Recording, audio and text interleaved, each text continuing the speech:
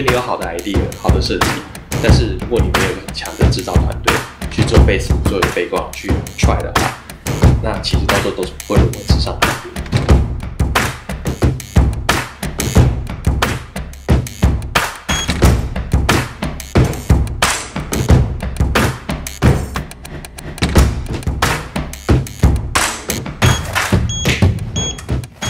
我们生态卫材成立一九七六年到现在，我们在台湾大概已经四十多年。那长期来讲都是国际德国、日本、美国各个国际大厂的代工厂。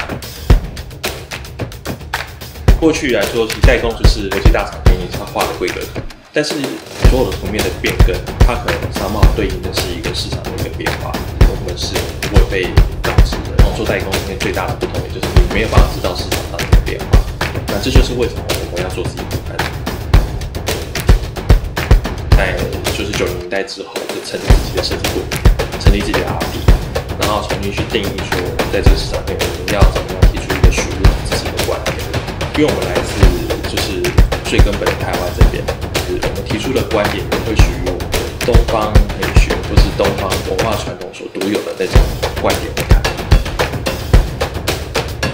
S 系列的壁式龙头是一个比较创新的结构的设计，面最最大的挑战就是一般冷热水就是一定要两管出来，那我们就是设计了一个比较创新的阀体，解决就是一定要两管出来的那个复杂造型的这个问题。